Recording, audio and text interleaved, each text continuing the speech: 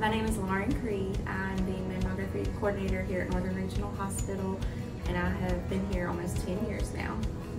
Regular mammograms are crucial for early breast cancer detection because even small areas on the mammogram that are cancer can show up within just a few months. Here at Northern Regional, the process of getting your yearly mammogram is very simple.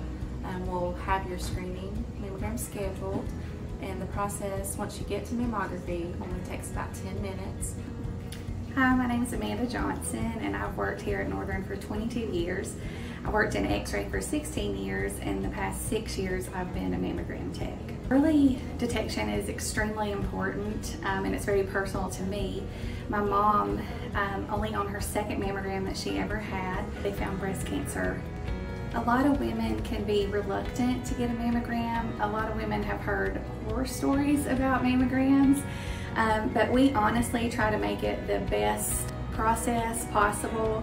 Um, we want it to be comfortable for you so that you will come back and have a yearly mammogram because it is so important. So take a few minutes for a lifetime and schedule your mammogram today.